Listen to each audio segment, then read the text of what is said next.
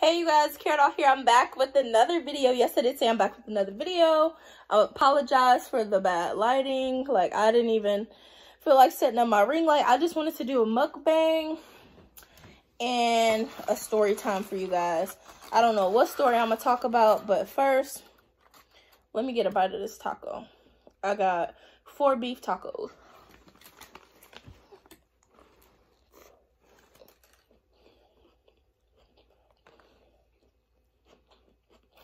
So good from the taco truck. I hope y'all can see me because I got the phone like slanted like I'm just tired. But so how y'all doing today? I'm doing good. I had a Spanish exam. I made an A, so I'm happy about that. Um I got the photos back from my um my photo shoot. I'm just putting some lime on my taco. I got my photos back from my uh photo shoot. And um what else I was gonna say? Yeah, so I'm excited about that. I'm gonna show y'all. Y'all probably gonna see them when everybody else see them. Mm. Mm-hmm. Real good. Real. Um so, sorry I'm all over the place with these tacos and that. Mm, what do I want to talk about? Mm,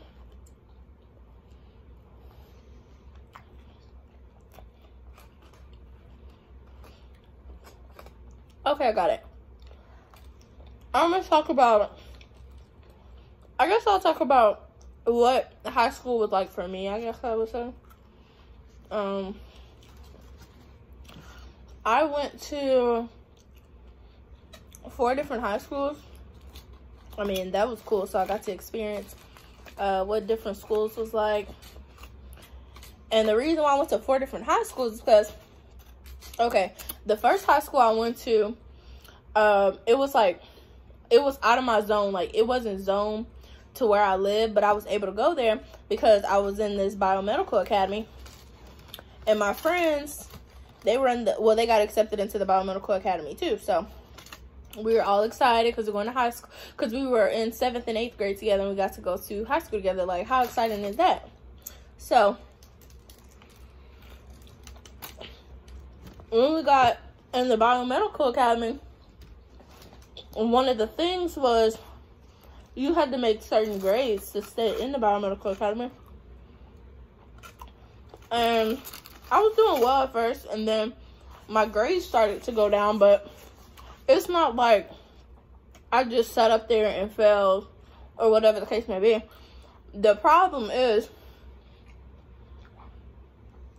when you were in the academy, they made you take honors classes, and it's like before high school, I had never taken algebra before. I didn't know what the hell algebra was. I was like, not only do I not know what algebra is,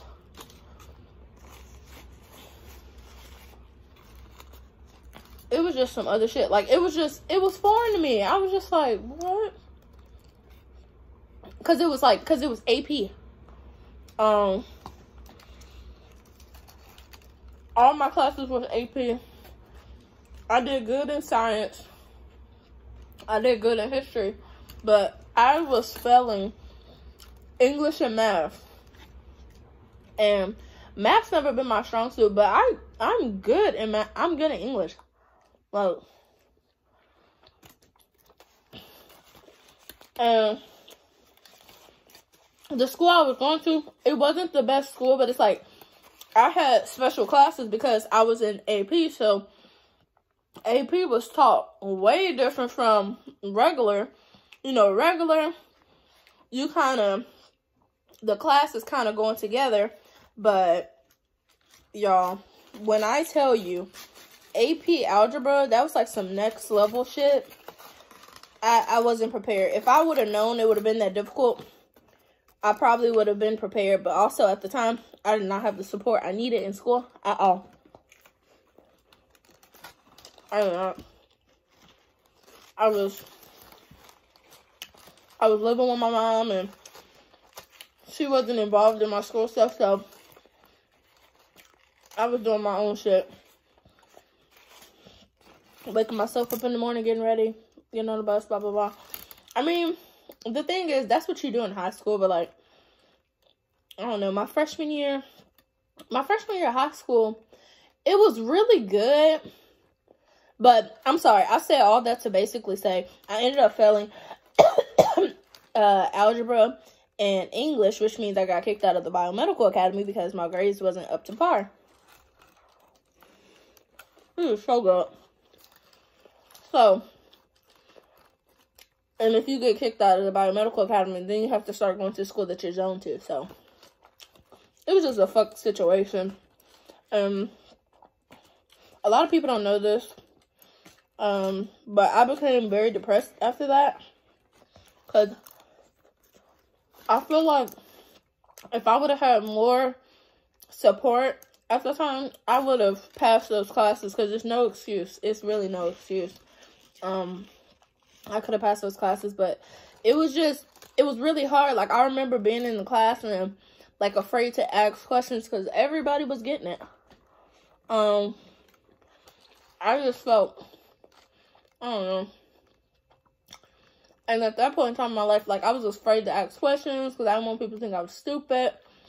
But if I could go back, I would ask so many fucking questions. So many questions. Um, but yeah, so I had to go to the school. Sophomore year, I had to go to the school that I was on to. I was so depressed because my mom, she could have drove me to the school that I was going to before.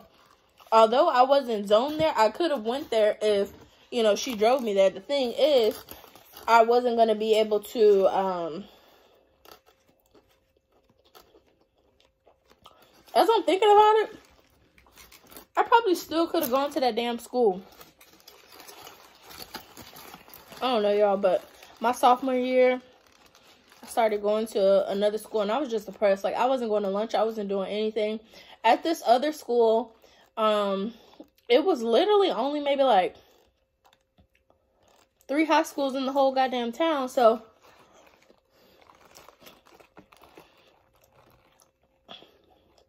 it had the school you was on to and then two other options. But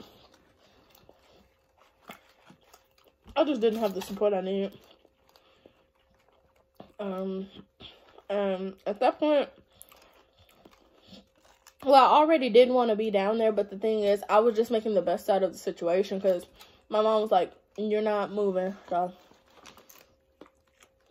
yeah, I wanted to move. It just, it wasn't the place for me. Like, it was just drama. Like, all people like to do is compete and talk shit about each other. Like it just wasn't it just wasn't for me. Uh-oh. So, I sophomore year I was doing in my class good in my classes, but I remember I was failing Spanish. I didn't even care. I didn't even want to go to that class. I went, but and at the time, I was dating this dude that went to that school. We were already dating before I started going there. That was the only good thing about it. Like I knew a person, but he already had friends, and I wasn't even pressing the issue. I was just like, I don't want to be here. Um, at the time, instead of me like complaining to other people, I really just that's really when I just started like praying hard. I didn't know if I was doing it right or not. I was just like, if there is a God, which I I, I feel like there is a God, um, basically He'll take me out of the situation when when it's time. But I pray every night, and I want to say, at this school, I was maybe there for like three weeks a month or so. I don't know. I wasn't even there that long. It's like I was there, but mentally I was not at that damn school. Like I miss my friends like so much because you got to understand at school like i really want some parents to watch this at school your kids spend majority of their time they spend like eight hours a day at school. So they you know you learn so many things at school. Like school is just so important. That's just that's a foundation you know. It's just so important. It's like that's why I want to be a parent that actually listens to my child and considers, you know, what they want because it wouldn't have hurt it. It wouldn't have hurt for me to stay at that school. Like, why? Okay, I'm not in the biomedical academy, but does that mean I don't have to go to the, I can't go to that school anymore? Like, that was just stupid. And it was just, like, my mom, she just did not want to make any sacrifices. I don't know any sacrifices she made. It, it's just, you know, I'm older now, so it is what it is, and I don't, I don't hold anything against her. It's just, I wish things would have would have been different, but everything happens for a reason, and I really feel like God makes no mistakes. And um, I stayed there for five years, and I did not want to be there one bit at all, at all, at all, at all. Um,